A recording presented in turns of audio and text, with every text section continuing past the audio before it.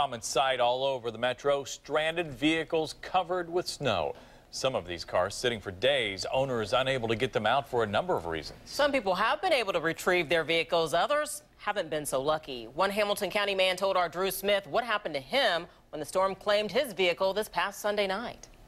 Justin Clues, who lives in Cicero, says he became a victim of this winter storm on Sunday night. He was driving to his parents' house after work, and now his Jeep is here in Westfield at a tow yard. He says the nightmare started while driving west on 267th Street near Devaney Road.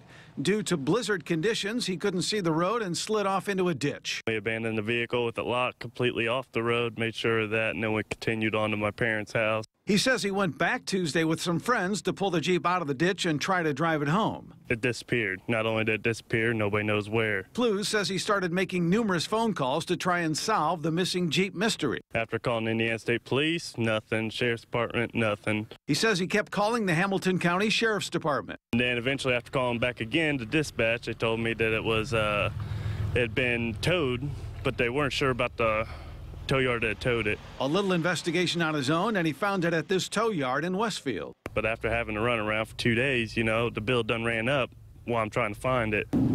He says police told him it was towed because it was on the roadway. Justin says it was not. So how does he feel? Scammed. I'm not sure why they towed it. I feel like they just swiped it out from under me and I was scammed for a profit. And he says his insurance company did not get to the car because the county was restricting travel at the time to emergency vehicles only.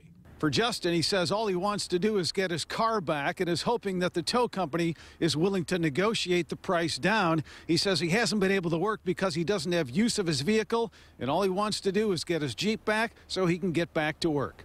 Reporting in Westfield, Drew Smith, RTV6.